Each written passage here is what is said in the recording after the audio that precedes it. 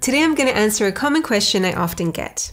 How to convert a PDF file into a Word document so I can edit it. Now there are plenty of solutions and converters out there, but I'm going to show you a proven solution that will work. All you need is Microsoft Word in a desktop version. Anything starting from Word 2013 and later will do. It's super simple. So let's say you have this PDF document here, which you want to edit and make some changes to. All you have to do is open Microsoft Word, click on Open, and then browse for your file. In my case, I have it right here because I pinned it before. Alternatively, you can also just drag it here. Then Word will convert the document. You'll get this message informing you that depending on the size of the document, this could take a while, and that the result might not look exactly like the original PDF.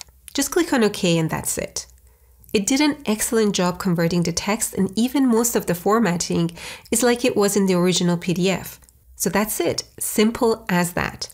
Now I can edit the document as I like and I can resave it as PDF if I need to. When you use this conversion, you'll find that the results could vary. Sometimes the quality of the conversion will be almost perfect, like in my example, but sometimes it will be off to some degree. Now, the main reason for that will probably be the difference between a true or native PDF document versus a scanned PDF.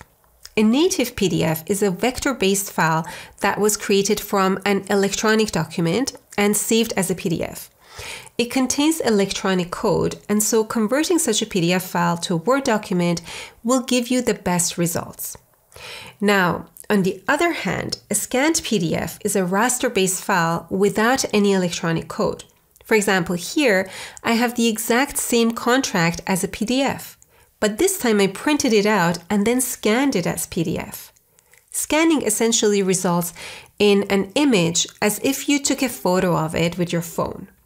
When you convert such a PDF to Word, the result is not going to be perfect. Let's try to convert this printed and scanned version to Word. Click on OK, and here it is. You see, it didn't pick up the bold formatting here. And sometimes the font size is off, and the numbering in some cases needs some editing. But the conversion of the text is the same as in the native PDF example. As you can see, the conversion for both native and scanned PDF was generally easy and fast too. For the native conversion, the outcome was almost perfect. If you have a scanned PDF, the result will depend on the quality of the printout and the quality of the scan. And generally, formatting and graphics will not convert well. In case you have images that you want to convert into Word or Excel, check out this video, which shows you how you can easily do it with just your phone and a free app. I hope you found today's video helpful. If you did, don't forget to hit that thumbs up and do consider subscribing if you aren't subscribed to this channel. I'll see you in the next video.